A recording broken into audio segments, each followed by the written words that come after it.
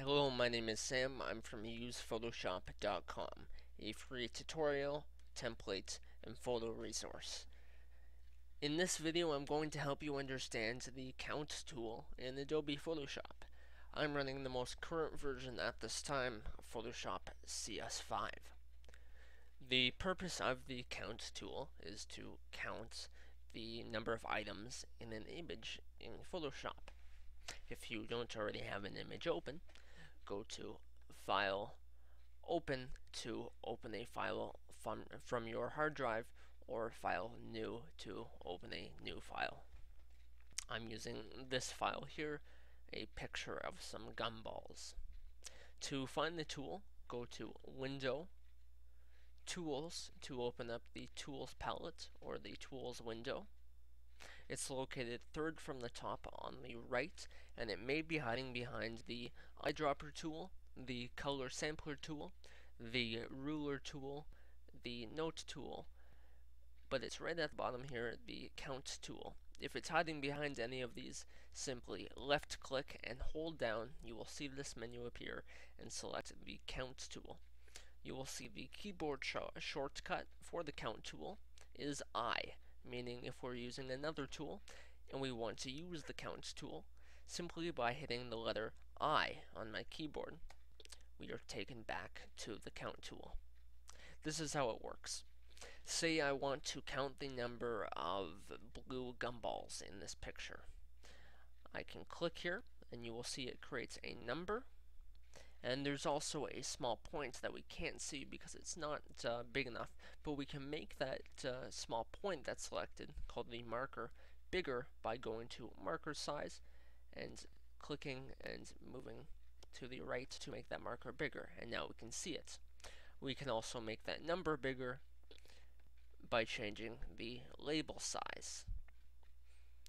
We can continue counting our gumballs. There's another one here. You will see that one's number 2 there's number 3, there's number 4, and so on and so on. We can also change the color of our markers by clicking there and changing the color, say, to a bright yellow so we can recognize it. We can clear it or get rid of all the markers by clicking clear. We can also uh, create a different group. What that means is we can select different items. Say you want to count the yellow gumballs in the picture. We would go up here to the thing that looks like a folder and click on it to create a new count group.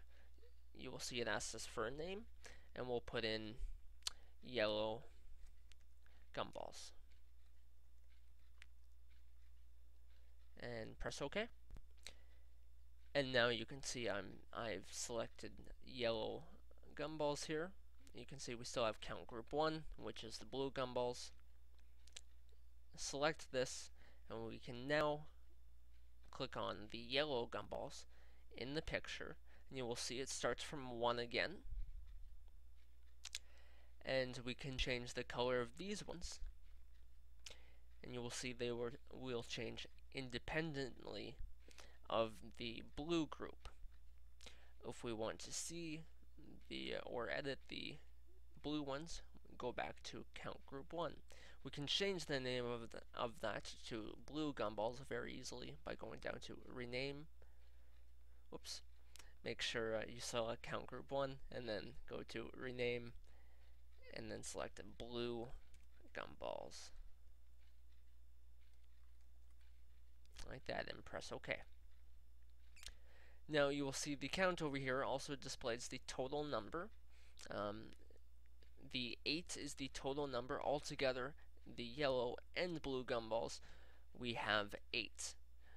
We just have 4 blue gumballs. The number it shows in the brackets is what you have selected currently. You will see if we go to yellow gumballs, of course it's also 4. If we uh, create some more points though, you will see that number increases and you will see we now have 10 points for the yellow gumballs and only four counts for the blue gumballs.